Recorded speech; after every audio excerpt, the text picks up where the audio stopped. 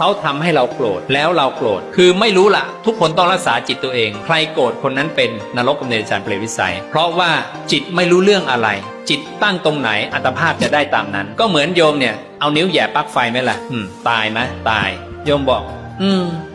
มันยุติธรรมป่ะแย่นิดเดียวตายอ้าวไม่รู้อะไฟไม่รู้จักโยมโยมจะเป็นคนดีคนเลวโยม ไฟไม่รู้จักนะ